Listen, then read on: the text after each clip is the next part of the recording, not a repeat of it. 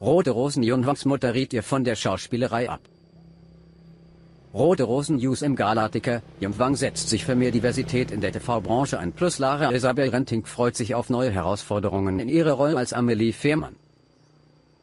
Rote Rosen 2021, alle News im Überblick. Jungwang setzt sich für mehr Diversität in der TV-Branche und darüber hinaus ein. Jungwang, 30, verkörpert in der Telenovela Rote Rosen die Ellen Reichert, die Darstellerin hielt immer an ihrem Traum der Schauspielerei fest, und das, obwohl sie als Kind kaum Zuspruch erhielt.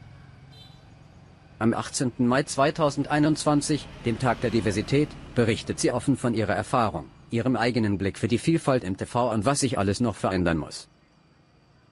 Jungwang ruft auf Instagram ihre Community dazu auf, die Medien zu hinterfragen. Es ist auch Anlass, um Bestandsaufnahme zu machen und zu gucken. Die Medien, die öffentlich-rechtlichen Sender tun sie genug, um unsere Gesellschaft in all ihrer Vielfalt darzustellen? Sieg. So die Schauspielerin. Denn sie selbst sah die asiatische Kultur und asiatische Schauspieler innen lange nicht im deutschen Fernsehen vertreten. Als Kind fasste sie den Entschluss, Darstellerin zu werden. Doch als sie ihrer Mutter davon berichtete, fiel deren Reaktion alles andere als positiv aus. Kind, schau dich um im Fernsehen. Es gibt niemanden, der so aussieht wie du, Sieg. Du wirst keine Arbeit finden, es gibt keine Rollen für dich, gibt sie die Worte ihrer Mutter wieder. Für Wang ein harter Schlag, ich habe mich in meinem eigenen Land nicht als Teil der Gesellschaft gefühlt.